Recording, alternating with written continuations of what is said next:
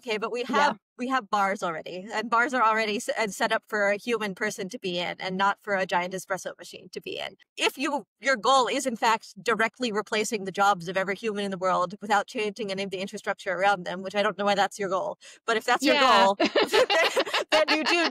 The humanoid robot is the way to do that. So, right, right, but but yeah, but you're still kind of premising this on like a yes. very weird assumption of like we're going to replace all the people, but not redo any of the infrastructure, and it's all going to be robots, and the robots are going to be trained by um, AI. Because infrastructure is hard, is the thing. So and not fun, and not fun and, not and sexy, fun not and fun sexy. and sexy yes, like, yeah. like humanoid robots. So yeah, like, yeah, yeah. I mean, that's oh, real. God it's a real consideration. It it, it, it is deeply. I understand that because it's, yeah, like when it's like infrastructure isn't fun and sexy. In, in, a weird way, my brain goes to California wildfires, which are all caused by our infrastructure failures in the electrical grid because mm-hmm. nobody thinks that maintaining infrastructure is cool and sexy anymore. And it's just like they never did. It's just that we actually had a government that paid people to do it.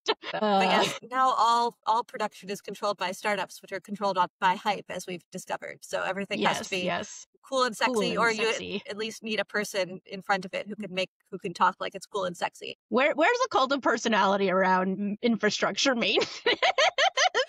Where where's my Sam Altman for infrastructure maintenance?